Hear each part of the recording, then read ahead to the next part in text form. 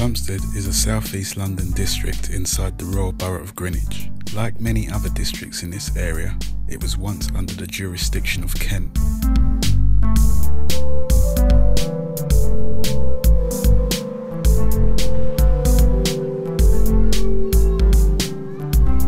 Plumstead is almost entirely a suburb of the industrial town of Woolwich.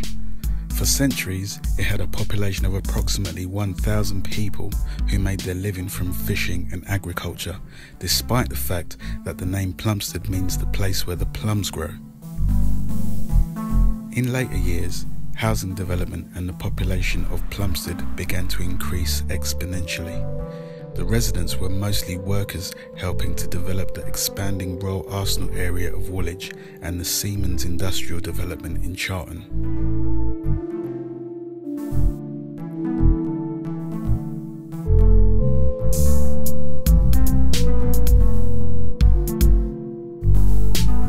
In 1876, they tried to build even more housing across Plumstead Common, but it was met with strong resistance and the plans flopped. Two years later, Plumstead Common was given its own act of law to protect it as a public open space forever.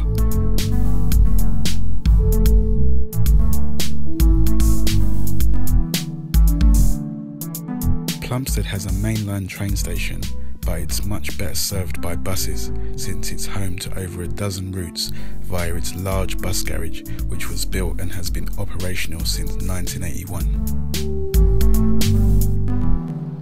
In 2015, Plumstead was named the cheapest rental district in London, according to a survey conducted by Rightmove. This makes it seven times cheaper than renting a place in Mayfair which is the most expensive London district. Almost every school in Plumstead has a rating of good by Ofsted.